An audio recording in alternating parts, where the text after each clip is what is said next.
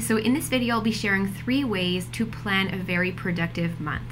So I don't know about you, but for me, productivity is something that I really want to be fluid and to change so I can learn different methods of how it works for me and you test it out. You want it to be something that's sustainable, not something that makes you feel really hectic. So hopefully these three ways really provide a sense of calm and clarity for you. So let's jump right into it. So the first one is to plan a self-care day.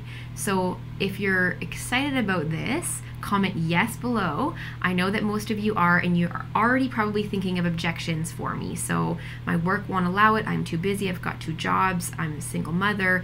Anything like that, we can make it work. So it doesn't matter. I mean, it does matter because I do care all of those specific scenarios but work with what you have. So plan a self-care day. So I'll give you an example. For me, that looks like within the first five days of the month, so the first Friday of every month, it's locked in my calendar.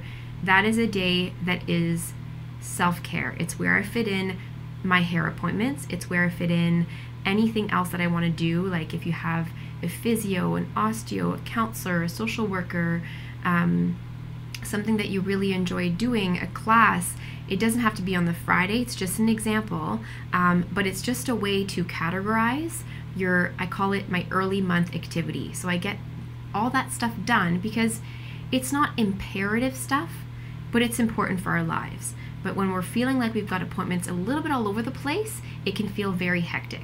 So the first Friday of every month for me, as an example, is a self-care day. I plan all of those appointments that I need in there. And of course, if it's something that you do from home, then you can also plan that out. But make it as important as an, as an appointment. I've been told in the past when I was in university, someone said, you know, you're not very flexible for a group project. And I really appreciated that because I feel like it was a compliment because that meant that I was really focused and I was really, um, I guess, maybe stubborn, I don't know, of keeping that time for myself because I know that I'm better for myself and everyone around me when that happens.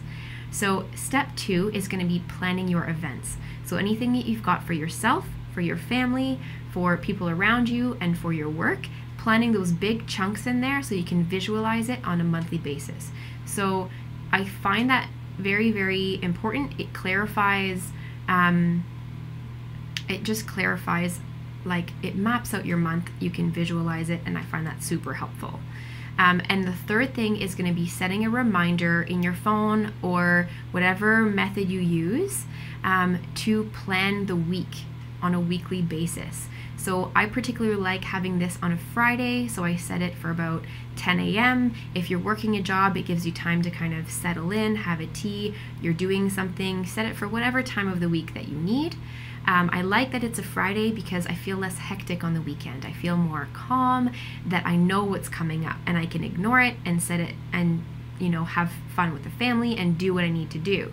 So I set time on Friday mornings to plan my week. So that's going to be a separate video that I can do for that.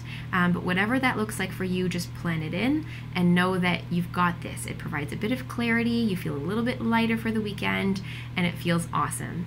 So these three strategies are something I want you to implement within the first five days of the month. If you're super interested on planning it, so sometimes I do it before the next month, again, it gives me that fresh feeling of I know what's coming up and you've got all those things locked in and it just provides more space in your head because you don't need to think about when you're planning certain things.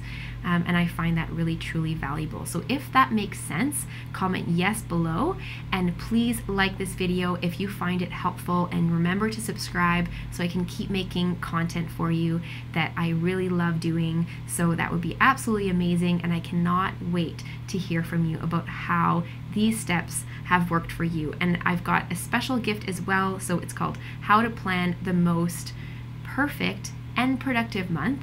So there's going to be a download. I'll have a link for you below and definitely let me know how that goes.